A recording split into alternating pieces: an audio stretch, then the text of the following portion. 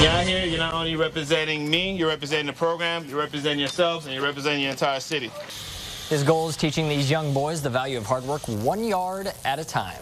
Good evening, I'm Brendan Morano. The dangers of street violence can impact kids at an early age. One Champaign community leader is doing his part to steer boys away from the violence with the Manhood Training Camp. WCIA 3's Jamal Williams is with us. Jamal, now, what sort of things do you have them doing?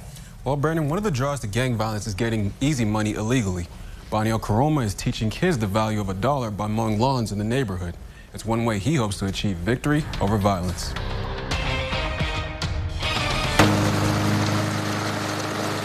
Vision to Succeed CEO Banio Koroma is on a mission.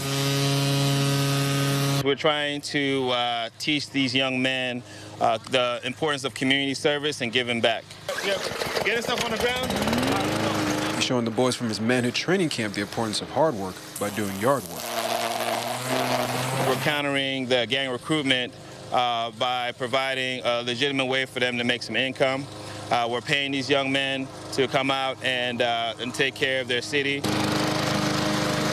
Boys make $20 an hour mowing lawns and cleaning up trash. 14-year-old Kyer Reed says he's learned a lot about the value of a dollar and others can do the same. It helps people to have something to do and stay focused and not be like doing stuff that they're not supposed to. Robert Redding says yard work is nothing new to him.